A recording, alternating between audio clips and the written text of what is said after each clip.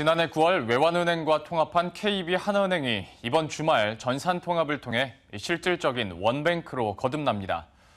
하나은행은 지난해 하나 외환카드 전산 통합 과정에서 결제 오류가 발생해 홍역을 치른 전례가 있는데요.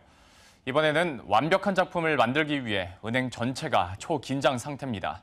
이혜리 기자의 보도입니다. 외환은행과 하나은행 통합으로 탄생한 KB 하나은행이 오는 6월 4일부터 6일까지 3일간 미뤄왔던 전산 통합 작업에 들어갑니다. 은행 이름은 KB 하나은행으로 통일됐지만 사실상 투뱅크 시스템으로 가동돼 왔는데 이번 전산 통합을 통해 실질적인 원뱅크가 되는 의미가 있습니다. 전산 통합으로 내달 7일부터는 하나은행 지점에서도 외환은행 고객이 대출 연장 등 금융 업무를 볼 수 있고 ATM 기기도 공동으로 사용이 가능합니다. 은행 측은 외환은행이 외환 수출입 업무에 강점이 있고 하나은행이 개인 자산 관리에 앞섰던 만큼 각 은행의 경쟁력 있는 부분의 전산을 결합해 통합 IT 시스템을 구축한다는 계획입니다.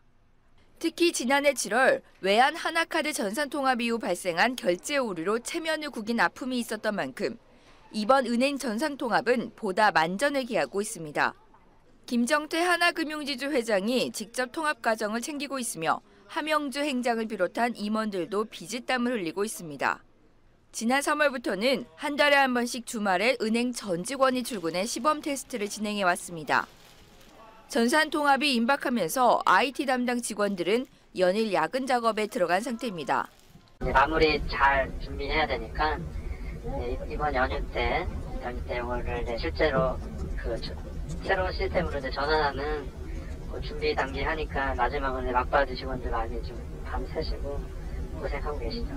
KB 하나은행은 전산 통합을 계기로 외환 하나은행의 시너지를 확대해 우위를 점하겠다는 전략입니다. 전산 통합으로 두 은행의 고객 정보를 적극 활용해 영업 시너지를 올리고 통합으로 IT 부분 비용 절감도 기대되고 있습니다. KEB 하나은행은 올해 말까지 노조 통합까지 이뤄내 내년부터는 직급 및 교차 발령 등 인사 통합까지 이어갈 계획입니다.